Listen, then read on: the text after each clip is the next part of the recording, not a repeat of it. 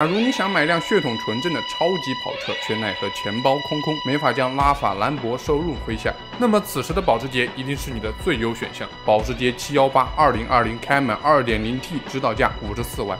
价格感动人心，而销量早早突破一百万大关的保时捷911则更是经典。不知凭借优秀的机械性能俘获多少车友芳心。911这款车是亚历山大保时捷的成名之作，流线型的车身和挖眼的设计格外吸睛。911采用后置发动机，车重有一半都放在了后部。初代的各种性能肯定不像现在这么好，在雷雨胆小虎很容易剧烈甩尾，一不小心就全村吃血。车友江湖都调侃，没技术没胆量就别开911，小心丢老命。但即使是这样，911还是依旧发行仅有三年就卖出十万辆的销量。车友对一款车的评判标准往往各有不同，有的人热衷追求极致的速度，有人酷爱车内豪华的内部装饰，当然肯定也有人喜欢那种空调不制冷的车。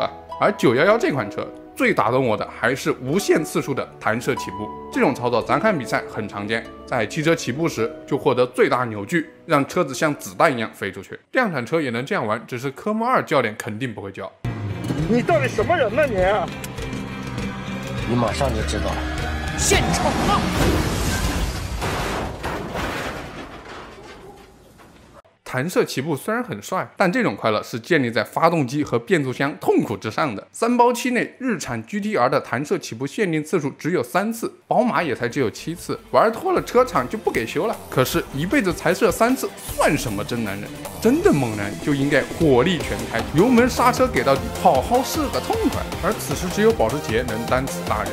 理论上，911可以支持无限次弹射起步。有个老外做测试，连着弹射了五十次都没有衰减，射到。到最后，老外自己都困了。当然，还是建议各位观众不要随便尝试。ESP 能不关就不关，毕竟狗命要紧。不过，咱作为汽车发烧友，一些硬核知识还是可以简单了解一下的。保时捷无限弹射起步的底气来自于 PDK 双离合变速箱。咱国内喜欢叫它跑得快变速箱，最早是保时捷赛车上的技术，一九八三年便用在了九五六赛车上。因为已经在赛车上用了四十多年，该解决的问题都解决了，把这个技术下放到量产车上，直接就无敌了。这里给大家强调一下，保时捷的 PDK 变速箱是独创技术，和大众当年大力推行双离合的理由不一样。大众采用双离合是在丰田收购爱信之后，当时爱信的 AT 变速箱。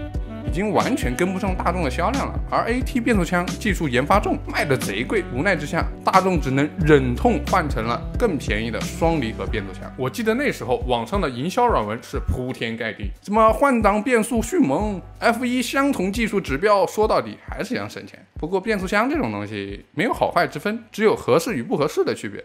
经过这么多年的发展，双离合的调教已经越来越好，驾驶体验相比以前好了不少。而保时捷的 PDK 变速箱用料相当足，造价自然也更贵，一台的采购价就接近十来万，买辆桑塔纳都绰绰有余。双离合相比其他类型的变速箱，天然在低速行驶时会有一种错顿和拉扯感，而在 PDK 上，这种问题几乎是不存在的。关于保时捷911这款车的发展历程也相当有意思。911的前身是保时捷356，这辆车采用的还是中置引擎，虽然外表圆润，长得像是拍扁了的大众甲壳虫，却是一辆货真价实的赛车，动力强劲，能跑140公里每小时。虽然这个数据在今天看起来不咋地，但在当时可是不容小觑。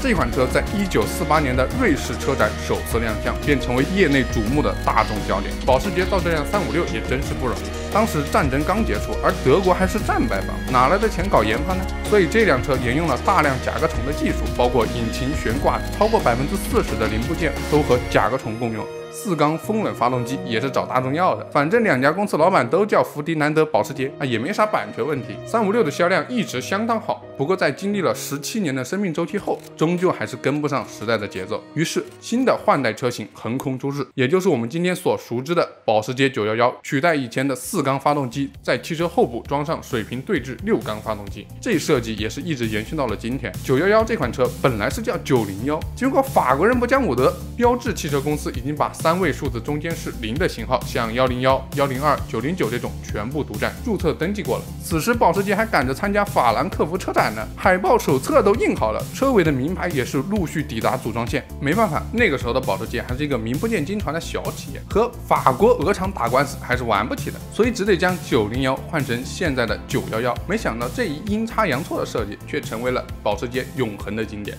后来的保时捷一直在各种更新换代，在一九七八年推出的保时捷928又是一次全新的尝试，首次换装了水冷发动机。这台车的车身比例和细节处理都对后来的汽车设计有着深远的影响。只可惜这台车虽然在专业领域广受好评，但却销量平平，十七年的生命周期里只生产了六点一万台。等到了二十世纪九十年代的时候，保时捷在消费市场就真的不行了。一九九二年全年销量只有一点五万辆，亏损超过一亿美金，这样下去直接接快倒闭了呀！好在后来职业经理人魏德金接此达人，这家伙是真的牛，保时捷直接起飞。Boxster 的发布，卡宴的大卖，使得保时捷起死回生，重返德国五大汽车工厂的行列。好，那么这期视频到这里就结束了，喜欢的可以关注三居兄弟，为你讲述更多汽车故事。我们下期再见。